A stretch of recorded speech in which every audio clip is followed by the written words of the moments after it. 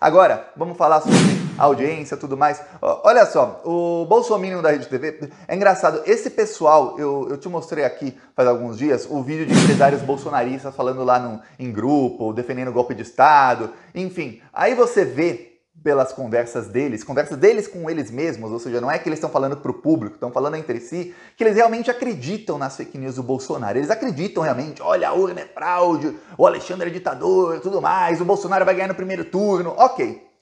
O, a, o dono da Rede TV, que é Bolsonaro, também deve acreditar que o Bolsonaro é aquele cara mega popular que o Bolsonaro tenta pintar nas suas redes sociais. Eles estão dentro daquela bolha fascista, então eles acreditam. Então ele fez o seguinte, a audiência estava muito ruim, a Rede TV chegou no começo dos anos 2000 a ser a terceira maior audiência da TV aberta. Chegou a passar ali a Record, ficar incomodava o SBT e tudo mais, depois começou a cair, cair, cair, cair. Pois bem, aí para tentar alavancar de novo, porque hoje eles perdem até da TV Cultura, ele falou, pô, vou usar aqui os os bolsonaristas da Rede TV, vamos aqui o, o pessoal que tá com o mito, com o capetão, e, vamos lá. Pois bem, então ele colocou o programa do Siqueira Júnior nacionalmente e ampliou.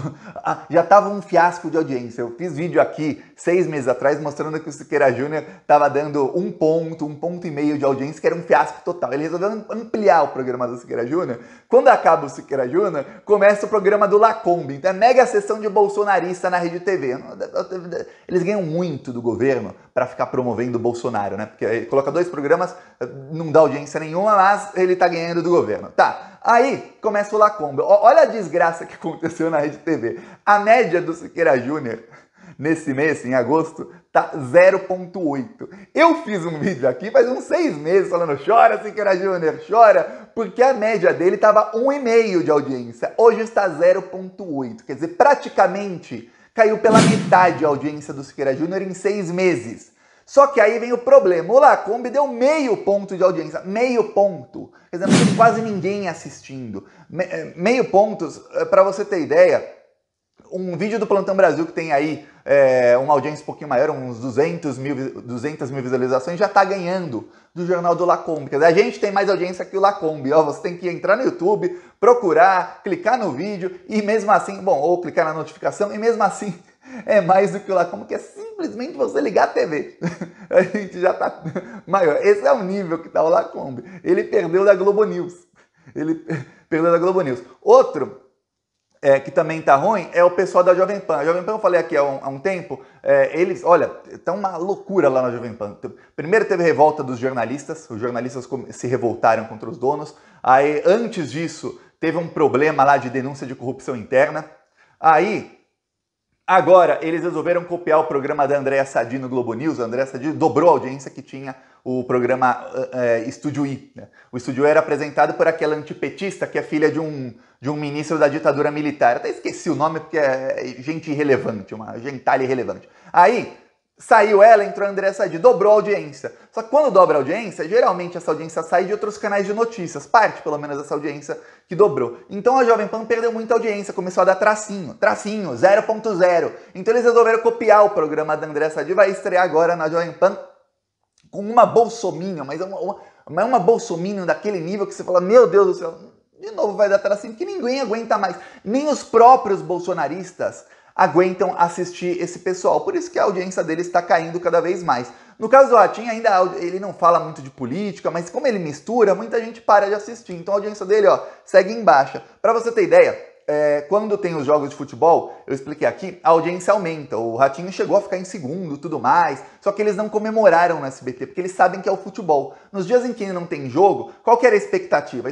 Quando um canal tem um programa de muita audiência, eles usam esse programa para alavancar audiência de outras coisas. É por isso que a Globo, por exemplo, eu ó, oh, a Globo manipula as pessoas. É, qual que é o esquema da Globo desde os anos 60 para manipular a população? Ele, o que mais dá novela na Globo? É a teledramaturgia, são as novelas. Então eles sabiam que novela das 7 das 8 dava muita audiência. No meio coloca o jornal, que é para você estar tá esperando, entre uma novela e outra, você tá esperando começar a novela das 8, você, pum, a pessoa fica ali alienada. Essa sempre foi a audiência, sempre foi o, o, o plano deles, o esquema deles. Pois bem, é, no caso do SBT, o Silvio Santos queria alavancar o Ratinho. Então, ele fez o seguinte, ó.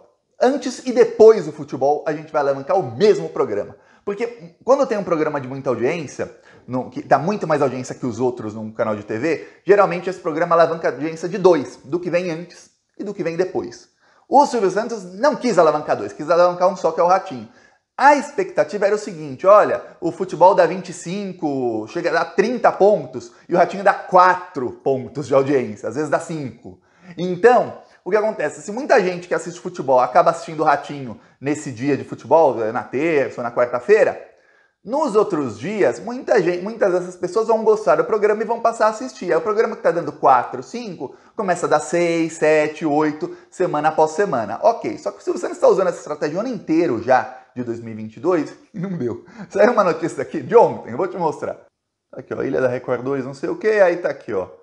Ah, apesar do fraco desempenho da concorrência, o programa do Ratinho segue em baixa. Isso aqui, aí você vai ver aqui as audiências. Aí imagina que num dia tem futebol, então parte do programa do Ratinho, como o futebol deu 27 pontos é, no jogo dessa semana, da semana passada, parte do programa do Ratinho deu 18, 19 de pico, porque são os últimos minutos da primeira edição e os primeiros minutos da segunda edição, que é quando ainda tem, quando ainda tem muita gente que ainda não mudou de canal. Tá. Aí, no dia seguinte, chega lá o programa do Ratinho, essa aqui é a média do, do programa.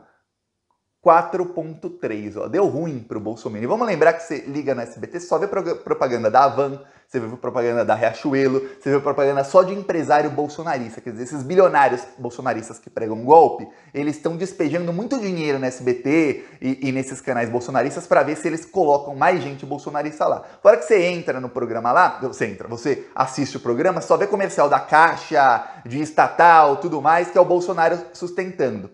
Quando o Bolsonaro não for mais presidente essa mamata acabar, aí ele vai o, esse pessoal vai depender de ter patrocinador de verdade, ou seja, de em vez de fazer negócio público, da, vai depender do livre mercado, aí a coisa fica ruim. Ah, tem uma outra coisa, você já tá rindo que ó, tá ruim pro Lacombe, deu ruim pro Esquerda Júnior, mas a humilhação do Lacombe foi demais.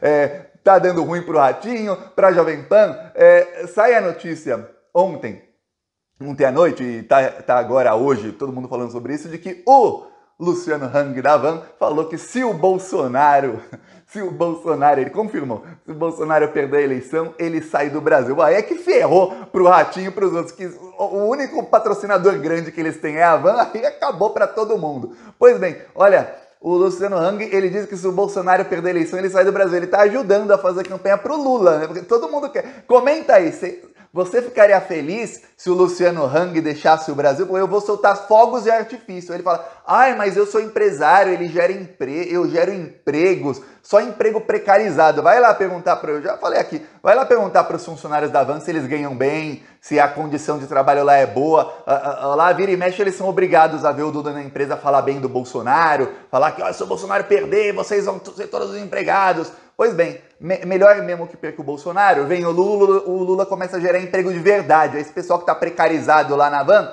vai ter emprego de verdade, ganhar bem, voltar a comer carne, voltar a viajar de avião nas férias, voltar a ter uma vida, a viver em vez de sobreviver, que é isso que o povo brasileiro está fazendo hoje durante o Bolsonaro. E é por isso que ninguém aguenta mais esses bolsominions na TV.